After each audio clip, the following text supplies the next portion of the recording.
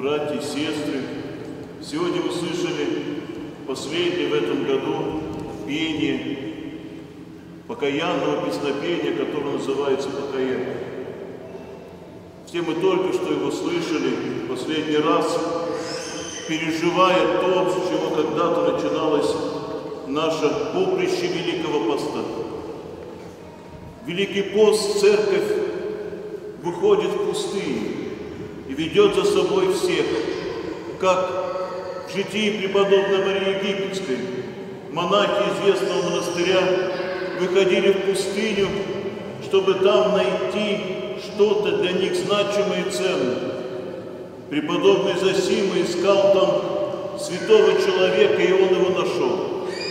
Церковь выводит нас всех в пустыне, чтобы мы в первую очередь нашли там Христа. Потому что Он первый впереди нас пошел в пустыню. И самое драгоценное – это встретить во дни нашего пустыннического жития, нашего покаянного подвига встретить Христа, который приободрит и утешит, исцелит наши язвы, простит нам грехи.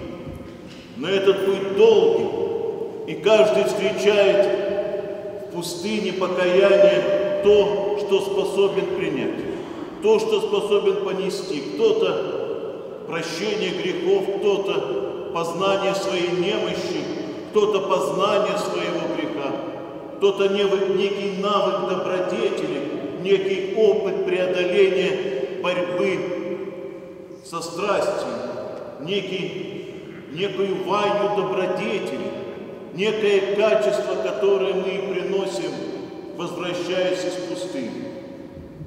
На этом наша жизнь не заканчивается, и мы, как говорили старые люди в моем детстве, дай Бог дожить до следующего покаяния, прожить, сохранив это сокровище, которое получили здесь, по пустыне покаяния, сохранить как? Помнить, что все, что мы приобрели в одни поста, есть дар Божий, то, что мы можем унести, помнить и благодарить за добродетель или качество, за познанный грех или слезинку, за покаяние или очищение, но помните, благодарить это залог самого главного, залог жизни во Христе, залог будущего, грядущего возрождения во Христе, залог воскресения во Христе.